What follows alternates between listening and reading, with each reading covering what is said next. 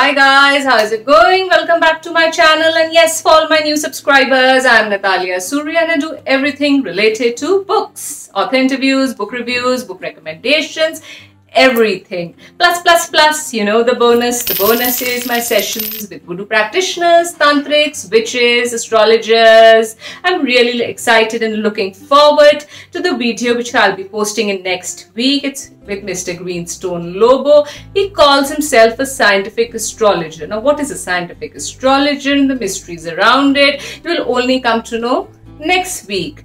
Today, I'm going to do an author interview now, who is my guest? My guest is Mrs. Neelima Dalmia Adhar.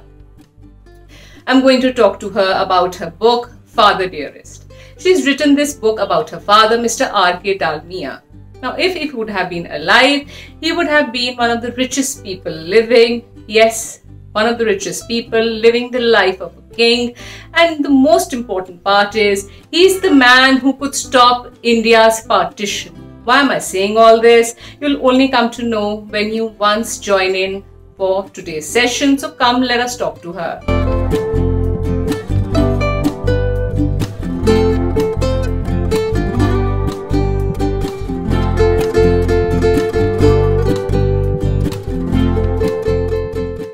Hi ma'am, thank you so much for joining and it's really a pleasure meeting you today. Hi, Natalia. I've been looking forward to this interview. As much a pleasure for me. Uh, Ma'am, my questions are around your book, uh, Father Dearest, which you have uh, written for your uh, father. So, Ma'am, my first question when I saw the book was, uh, why Father Dearest and not my dearest father?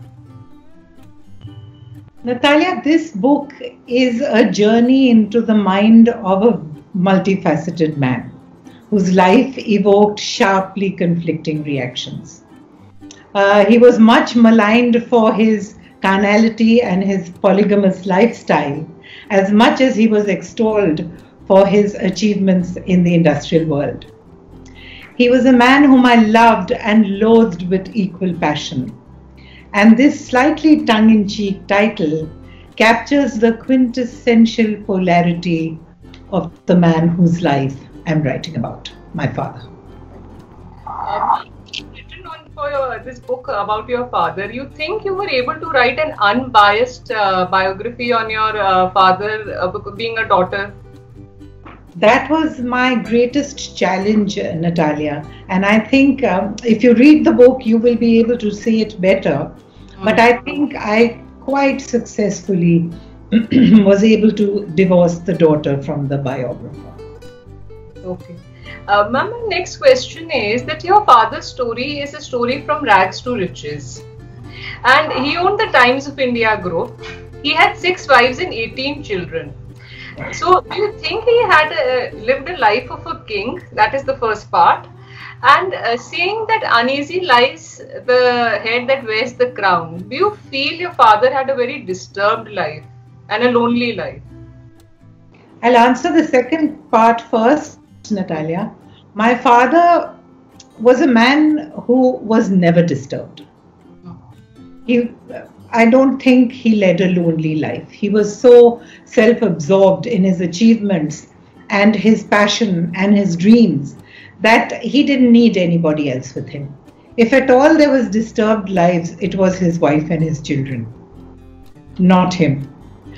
Uh, so coming to the first part, if you, which you asked me, that did he live like a king? Is that what you asked? Yeah, yeah. Yeah. So see, my father was the most flamboyant man that India produced in the last century, and yes, his rags to riches story is known to everybody.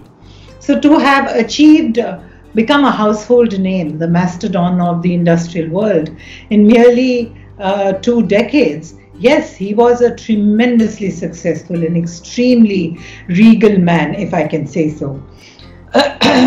yes, he lived the life of a king six wives, uh, 18 children, almost like a reincarnation of, of uh, Samrat Ashok or maybe Henry VIII. The mere logistics is baffling. Each wife in a separate home, and of course, all the paraphernalia that went with it. Only a king could administer that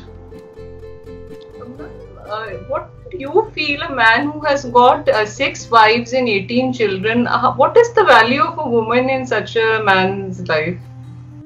Well, clearly he was a very patriarchal and, and uh, conventional Vedic age kind of a personality. Uh, he he always worshipped the woman, the the feminine uh, Shakti, as the goddess. There was no denying that. His uh, his idol, the one he prayed to, was Durga, Ma Durga, and all the same, uh, his treatment of his wives was like that of a patriarch in the Vedic society. They were loved, but they were never his equals. So definitely there was a kind of a discrimination, if I could call it that, there. Uh, uh, the wives were were never equal to him. They always, even even figuratively speaking, even in in their real life, I don't think my mother ever sat with him at the same level on the same sofa. She always sat one step below him. uh, can you elucidate uh, that Mr. Uh, when you said in, a, in one of your interviews that uh, your father uh, was a slice of Indian history. Now, what did you mean by that? Slice of Indian history. My father was one of the biggest supporters of the freedom movement.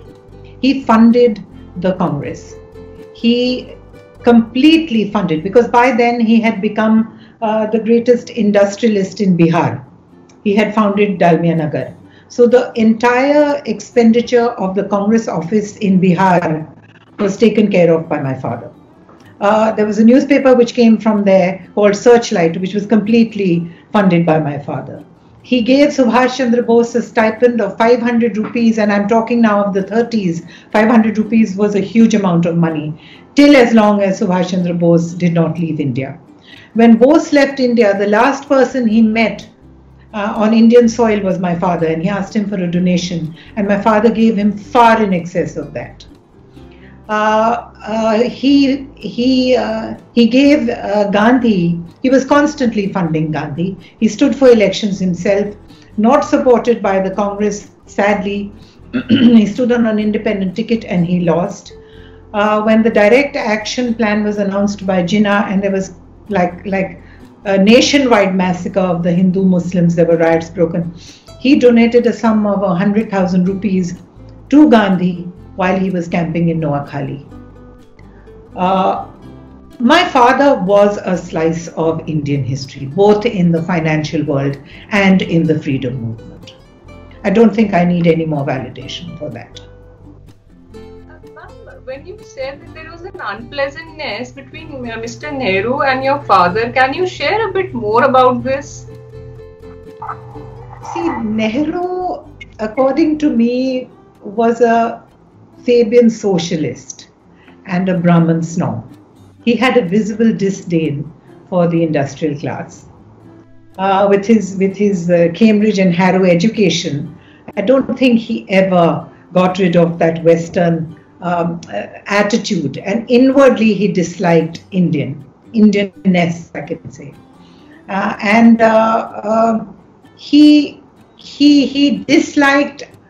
He had no place in his scheme of things for Indianness. And my father and the class of industrialists at that time uh, were the epitome of Indianness. And by Indianness, I would say closer to being Hindus. So, barring the Birlas who reaped huge benefits from Nehru after independence, I think all the industrialists were treated with a lot of uh, scorn. So their antagonism, if I go into too many details, I will not be able to compress everything in this 40 minute show. But I will just briefly touch upon the points that it first started when when my father uh, sent a check of 5,000 rupees to Nehru after his father died, Motilal Nehru died, saying that, you know, this is my contribution so that the movement doesn't suffer and stop. So Nehru uh, sent it back with a very rude letter saying that I would rather, uh, I would rather die of starvation or some such thing rather than accept unearned benefit from anybody. So that was the beginning of this rebuff. Then soon after that, uh, and, and uh, it, it, after independence, no, before that, in 1931, Nehru sent an emissary to my father to get funding for this National Herald paper, which was going to be published from Lucknow. So my father bought a huge stake in it, and he appointed his son-in-law Shanti Prasad Jain as the director, and Feroze Gandhi was made editor of the newspaper. Now, as luck would have it, that newspaper was strapped for funds always. They could not sustain themselves, and it shut down. So that aggravated the acrimony between my father and Nehru, and Feroze Gandhi never ever forgot that humiliation. Soon after that, in 1951, when Nehru was Prime Minister and uh, Feroze Gandhi was um, uh, a member of Parliament, and everybody was aware of the acrimony between the son-in-law and the father-in-law. He raised a question in Parliament saying that the Prime Minister, his father-in-law, is colluding with the insurance company owners and causing huge losses to the investors in the insurance company, the people who had uh, had put in money, bought insurances.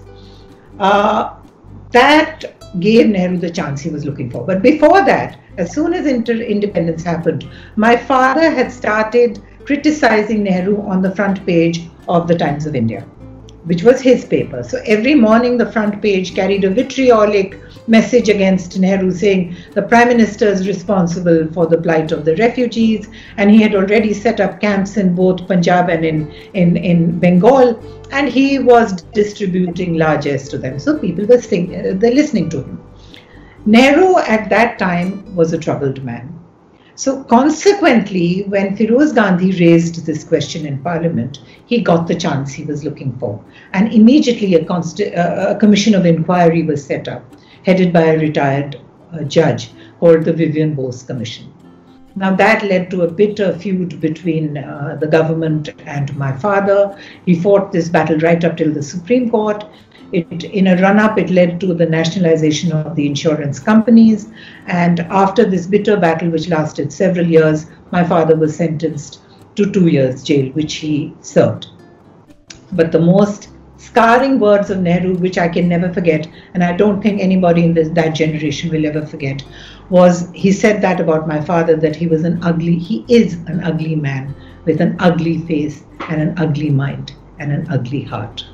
That was actually, in essence, it crystallizes how much my father was despised by Nehru. I'm talking about now hatred. Now I come to the question of friendship. Your father was uh, very friendly, or perhaps best friends with Muhammad Ali Jinnah. Now, ma'am, something on that also, please. Yes, that, that was a friendship which was much maligned, and uh, it earned my father the anti-Hindu tag. Uh, Jinnah and my father were closest of friends, and it was also one of the uh, the covert reasons why Nehru was against my father because my father openly supported Jinnah for prime minister, and they were both unhappy with the fact that that Nehru was the blue-eyed boy of Gandhiji, and that it was a foregone conclusion that Nehru was going to be uh, the chosen one. So they were bound by a deep friendship. One, they shared a deep love for the motherland, and second, they shared an antagonism to Nehru.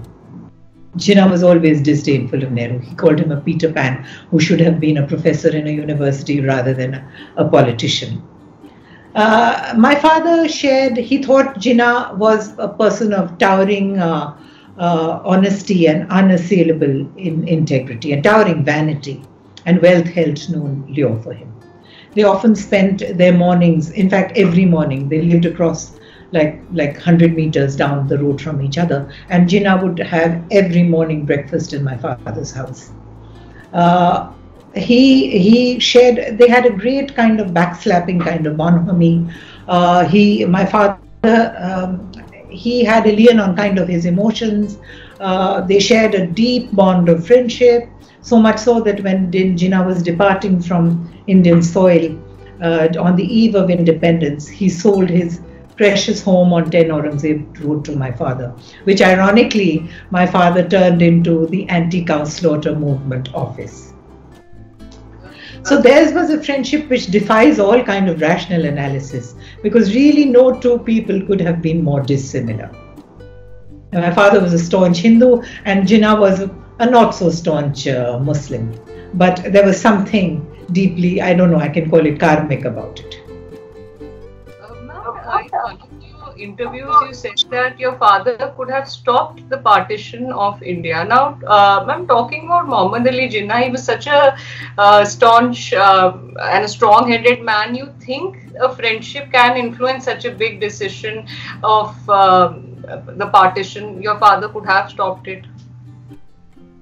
Uh, yes, Natalia, it sounds like a very delusional grandeur kind of a statement. But I say this with a lot of conviction because the kind of hold my father had on Jinnah, my father was probably one of the few men that Jinnah really relied upon. Uh, my father had that kind of a friendship with him where he could deride him. He could tell him things which probably Jinnah would not have heard or accepted from anybody else. So, although Jinnah was not the sole deciding factor of the partition. There were a lot of other variables that went into that fateful and unfortunate decision. Uh, the main being that the British were not interested in leaving India, uh, united India. They wanted to uh, leave a divided India for their own agenda. Uh, I do feel that the kind of friendship and kinship they shared, my father could have prevailed upon Jinnah to soften his stance. And uh, if Jinnah had softened his stance, I think the ramifications would have been significant. But it did not suit the interest of Nehru at that time to allow my father to prevail. And even though there was an attempt, and my father did try to broker kind of a last ditch meeting between Gandhi after he came back from England after the Roundtable Conference, that was scuttled. And, and uh, this is something that is buried in the archives of time and unfortunately will never be put to test.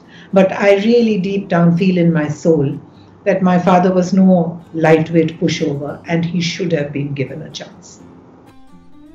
Ma'am, I have another question, which is, uh, you know, when your father divided his wealth, uh, he was not very fond of his uh, one of his son-in-laws who was a Jain, because his him being a Jain, I presume. So, uh, ma'am, how can a person who is not very comfortable with this Hindu subcaste can be best friends with somebody who's entirely of a different religion and muslims didn't i will not you know claim anything that hindu muslim thing but uh, the whole concept that you know he was perhaps not comfortable with that muslim tag which jinnah carried. So what was that thing? Uh, was it a friendship for uh, you know some uh, gains or benefits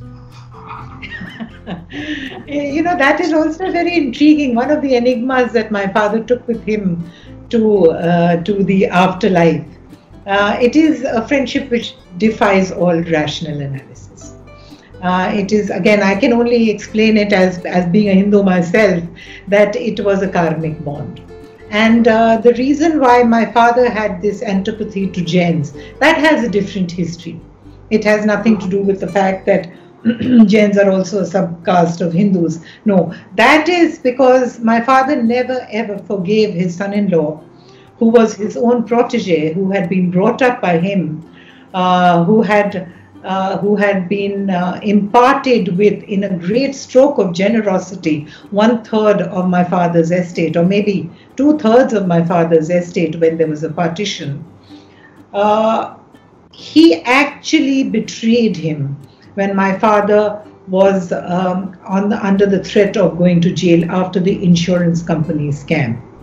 When my my brother-in-law, my eldest brother-in-law, Shanti Prasad Jain, refused to bail him out and refused to loan him the money of a mere 3.25 crores, which of course at that time was a phenomenal amount of money, uh, he, he, he gave it to him on the condition that uh, you will have to part with uh, Bennett Coleman and Company, which is Times of India, and uh, Sawai Madhopur Cement Factory, which was my father's passion and dream. It was the largest cement plant that he had uh, envisioned in Asia.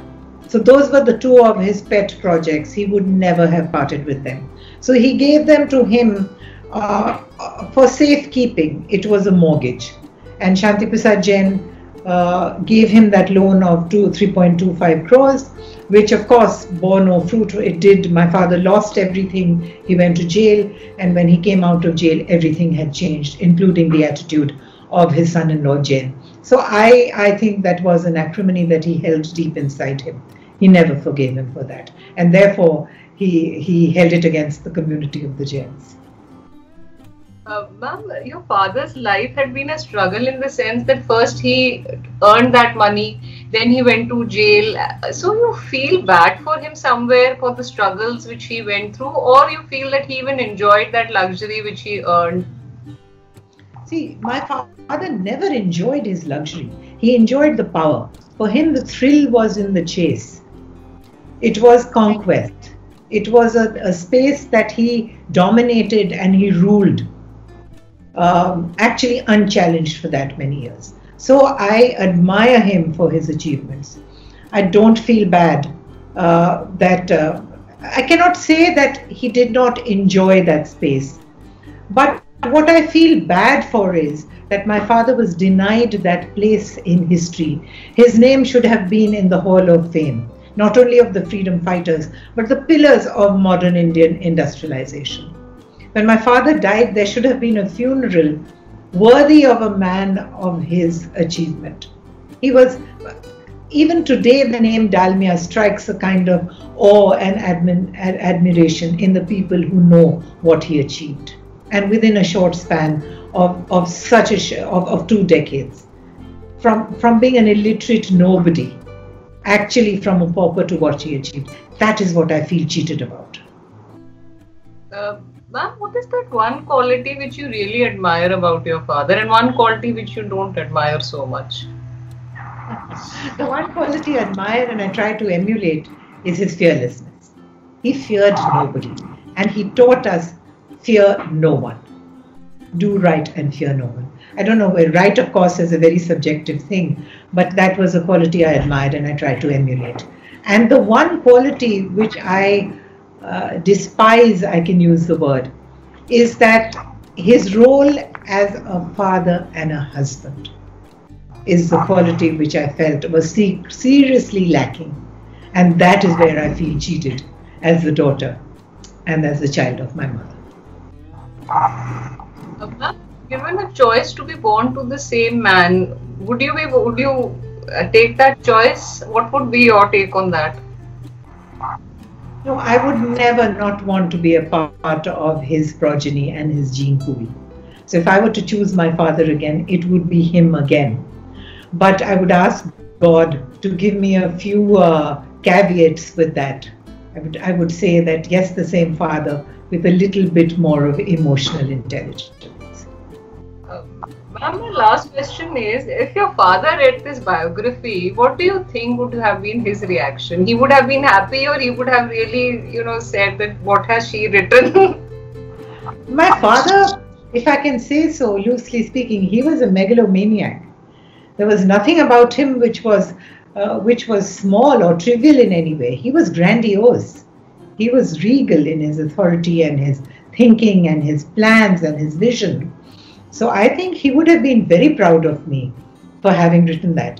Maybe the part of his personal life, maybe the part of his interaction with me as a daughter, with my mother as his wife, maybe he would have been a bit angry about that. But I can't say because he was fearless. He didn't care about anybody. He made statements like, I am Christ. I fear none. So I, I don't think it would have mattered to him. But I think in, in the ultimate analysis, he would have been very proud of me. Wonderful, ma'am. Wonderful. Uh, thank you so much, ma'am, for the interview, and it's really a pleasure talking to you. Thank you, Natalia. So, guys, we were in conversation with Mrs. Neelima Dalmia Adhar. You have the questions. My email address is given below. Do share your views, comments. How did you find today's video? I'll be waiting. But yes, before I go, I must share my blog www.nataliasuri.com with you. My recent article, which I have posted, is A Gate of Thousand Sorrows. If you're wondering what is this article about, Yes, as you know, I was teaching in IIT Delhi. I taught there for 12 years. There are some students a teacher never forgets. And yes, this is a story that one student I could never forget. Why am I saying this? You'll only come to know once you check out my blog. And yes, I'm assure you one thing, this article will even tell you a lot of things which students go through, their mindset, the tortures, and we as parents, what role do we play in their lives? So do check that video out. And yes, do join me in my next session, which I'll be posting in very soon. Till then, you know what you need to do. Keep smiling because you look beautiful when you smile. And yes, do take care of yourself. That is the most important thing. And thank you so much for joining with lots and lots of love. Take care. Bye.